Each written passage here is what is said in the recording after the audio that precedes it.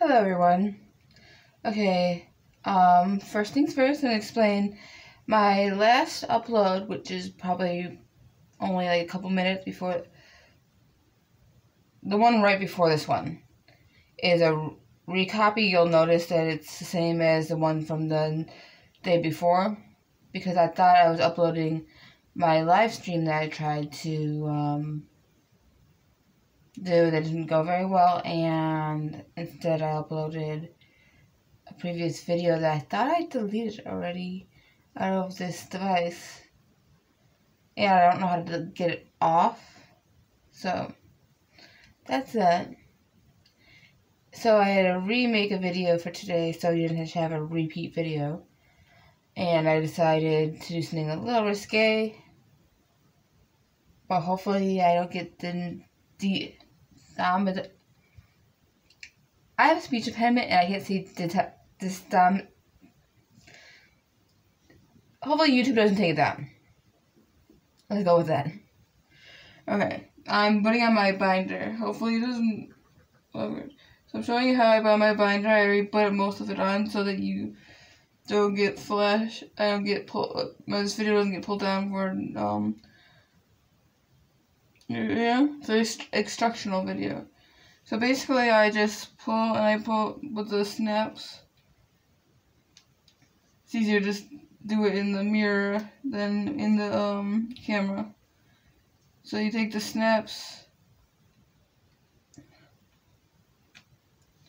and you get them all the way down.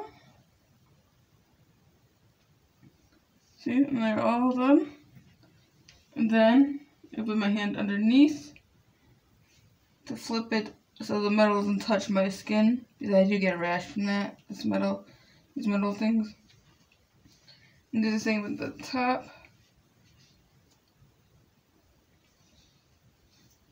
Just like that. And then I sort of have to maneuver myself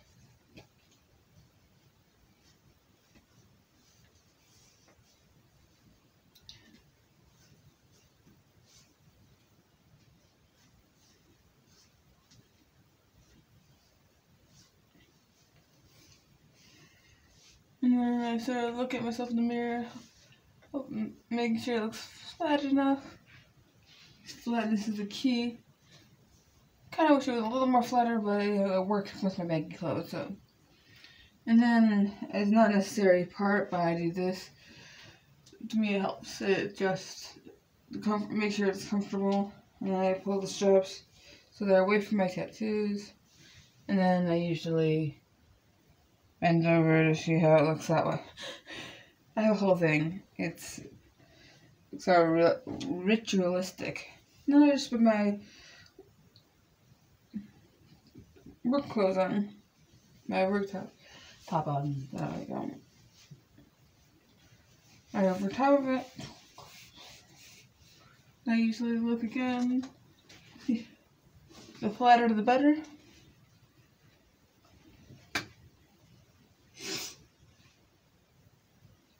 The other good thing about my binder is also makes me um, stand up straight, which helps with a lot of my um, back. My I used to have a lot of back pain, but since one of the binders, it's helped a lot.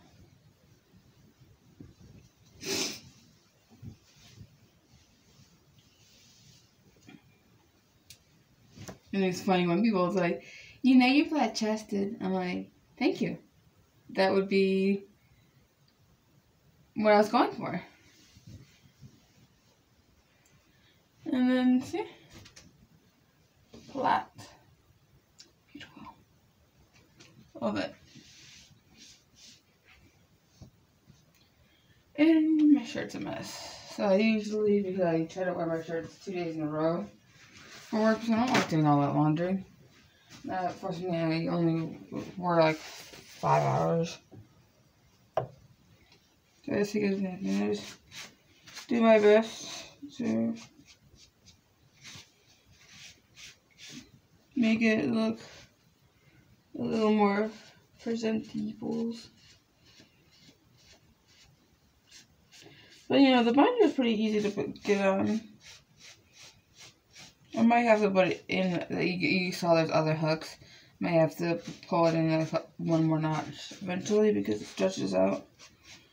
But um, yeah, I know it looks pretty good. And, and when you first put one on, it's super tight. Even though I am because it was, you know it's like you know when you get a pair of new shoes. When you first put them on, they're kind of tight and uncomfortable. You have to wear them in a little bit.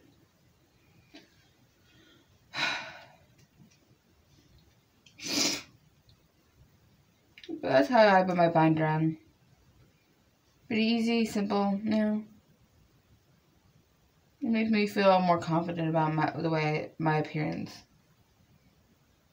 Just you know, for the same reason I shaved my eyebrows uh, off. I like the way it looks. I like the way it appears. I think it makes me look way better than when I had eyebrows. Same thing with my boobs. To me, they're not necessary. The only purpose of my boobs is if I have a child to feed them. Other than that, I could do without them.